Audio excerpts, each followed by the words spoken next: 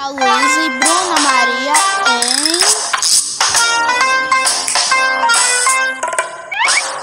Nada de confusão no restaurante.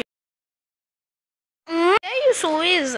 Bruna, você esqueceu que estamos no restaurante? Não, vou te mostrar já já.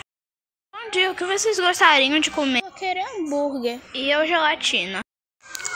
Depois que terminaram de comer. Bruno, você não pode arrotar em público. Foi mal.